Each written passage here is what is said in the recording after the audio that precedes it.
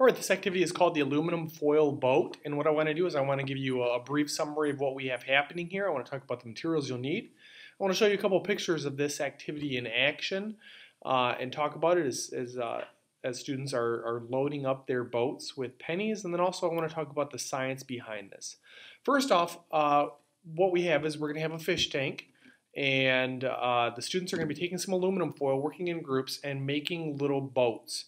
Something I like to do at the very beginning is I like to take aluminum foil and what I've done is I've uh, folded it over several times on itself and I show the students, okay, this aluminum foil, if I were to put this in water, it sinks. And if I were to take a penny right here, it sinks. And what you're going to do today is you're going to create a boat from aluminum foil that will float, and not only that, but it's going to carry some pennies.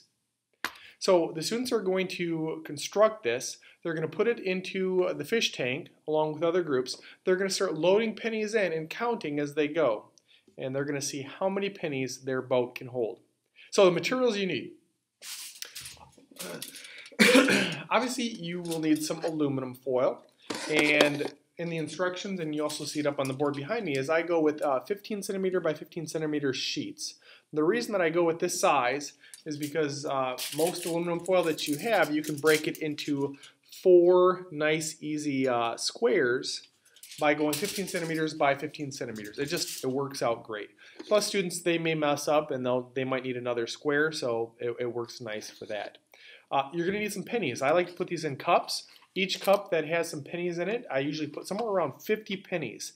Uh, usually, your groups won't get uh, to holding more than 50 pennies. Some will be, uh, you know, seven, eight pennies. Some groups might get up into the 30s or even 40s I've seen. So we have got that. The fish tank I've already talked about. This would need to be filled with water. As mentioned earlier, you're going to need 15 centimeter by 15 centimeter aluminum foil. You can cut that out yourself as a teacher, or if you trust your students, you can have them do this. This is what it looks like when the students are competing. Their aluminum foil boats will be in different areas around this fish tank and they will be placing the pennies in. Notice how one has already uh, sunk and so that group would step back for a while.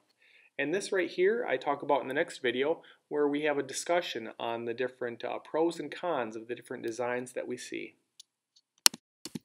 Now for the science behind this. If you have really young students, you're probably just working on the, the, teamwork aspect of it, looking to see if the, the kids can problem solve. Can they figure out how to make a boat that floats? Can they then figure out how to get some pennies on there?